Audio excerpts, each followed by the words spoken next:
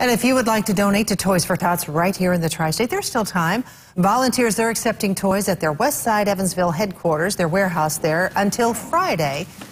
For the next three days, Toys for Tots elves are collecting donation boxes throughout the tri-state. A team will be working at the collection site to sort the toys into the separate age groups. Volunteers are still needed start at 9 o'clock in the morning, probably until 7 or 8 o'clock at night.